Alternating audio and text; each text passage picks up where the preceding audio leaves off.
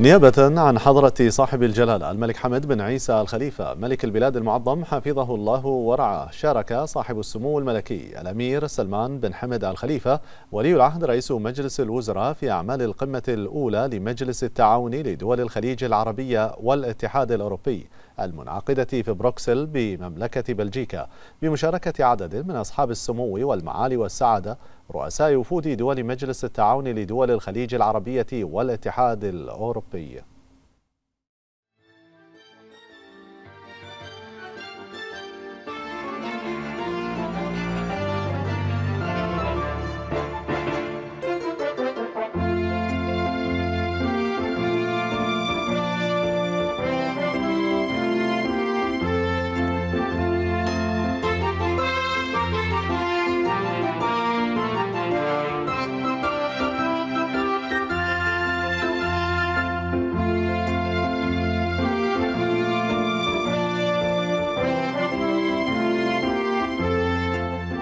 ونيابة عن حضرة صاحب الجلالة ملك البلاد المعظم حفظه الله ورعاه ألقى صاحب السمو الملكي ولي العهد رئيس مجلس الوزراء حفظه الله. كلمة مملكة البحرين في أعمال القمة وفيما يلي نص الكلمة.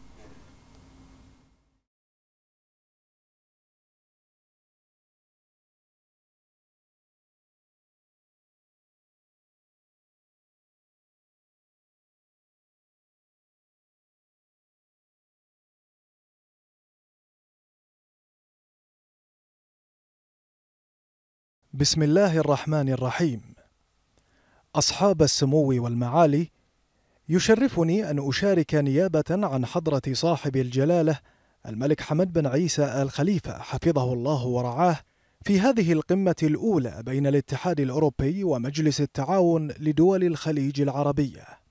تمثل هذه القمة محطة تاريخية في علاقاتنا، فهي ليست مجرد اجتماع بين الدول بل تقارب في تطلعاتنا المشتركة نحو الاستقرار والسلام والازدهار العالمي. نجتمع اليوم في لحظة مفصلية في تاريخنا حيث نجد أن أهدافنا وقيمنا المشتركة تواجه تحديات كبيرة. لقد حدثت تحولات جذرية في النظام الجيوسياسي ونتيجة لذلك تأثرت مناطقنا بصراعات شديدة وما يترتب عليها من أزمات إنسانية. أصحاب السمو والمعالي تأسس كل من مجلس التعاون الخليجي والاتحاد الأوروبي على مبادئ التعاون ورؤية مشتركة لتعزيز الأمن والاقتصاد والازدهار والوحدة الإقليمية. وفي هذا السياق يجب علينا أن نضمن أن تؤدي جهودنا إلى شراكات أقوى وأعمق بين الدول المتوافقة في الرؤى والمبادئ في مختلف أنحاء العالم. وهذا الأمر ضروري للغاية في هذه اللحظة التاريخية. فالأزمات التي نواجهها اليوم أكثر تعقيدا وارتباطا عن تلك التي واجهناها عندما تم إنشاء النظام العالمي المتعدد الأطراف الحالي قبل ثمانين عاما. في أوروبا تتواصل مشاهد المعاناة الواسعة الناجمة عن استمرار الصراع المستعصي في أوكرانيا. وفي الشرق الأوسط تستمر الأحداث الكارثية التي تتطلب اهتمامنا العاجل وتحركنا الفوري. تكلفة هذه الصراعات مروعة على الصعيد الإنساني ومع كل لحظة تأخير تتعمق هذه الأزمات وتنتشر مهددة الاستقرار الإقليمي ورفاهية الإنسان في جميع أنحاء العالم.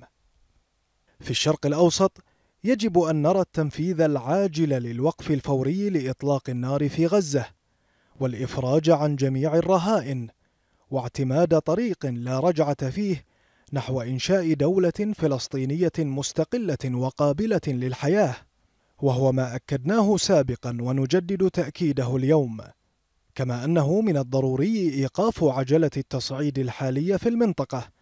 وتجنب صراع إقليمي أوسع. وبالمثل في أوروبا يجب أن نرى نهاية للعدوان وتحقيق سلام عادل ودائم. الآن هو الوقت للعمل معا لبناء إطار أكثر مرونة يمكنه التعامل مع هذه التحديات المتطورة. وضمان الأمن والاستقرار والازدهار طويل الأمد الذي تستحقه جميع الدول. الآن هو الوقت لإجراء إصلاحات شاملة مدعومة بالإجماع في جميع مؤسساتنا العالمية بما فيها الأمم المتحدة ومجلس الأمن التابع للأمم المتحدة وصندوق النقد الدولي والبنك الدولي لضمان استجابتها للتحديات العالمية المتغيرة بواقعية التي تحدث الآن. ومن منطلق روح الشراكة الدولية دعا حضرة صاحب الجلالة الملك حمد بن عيسى الخليفة ملك مملكة البحرين المعظم حفظه الله ورعاه المجتمع الدولي إلى عقد مؤتمر دولي للسلام في الشرق الأوسط. وتحث مملكة البحرين جميع الدول على الانضمام إلى هذه المبادرة الحيوية التي تهدف إلى تعزيز الجهود لتحقيق سلام عادل وشامل ودائم في المنطقة. معا يمكننا تحقيق ما لا يمكن أن تحققه كل دولة لوحدها. أصحاب السمو والمعالي لقد حقق مجلس التعاون الخليجي والاتحاد الأوروبي تقدما كبيرا في توسيع الروابط التجارية في السنوات الأخيرة حيث أصبح الاتحاد الأوروبي الآن أكبر كتلة تجارية لمجلس التعاون الخليجي وهو دليل على قوة علاقتنا. على الصعيد الاقتصادي نحن ملتزمون بتعزيز المناقشات حول اتفاقية التجارة الحرة بين الاتحاد الأوروبي ومجلس التعاون الخليجي والتي ستعمق الروابط التجارية والاستثمارية بشكل أكبر. وتفتح الإمكانات الهائلة التي توفرها التحولات الخضراء والرقمية. وفي مجال الأمن يتحد الاتحاد الأوروبي ومجلس التعاون الخليجي في التزامنا ببناء شراكة استراتيجية ترفع من مستوى تعاوننا إلى آفاق جديدة.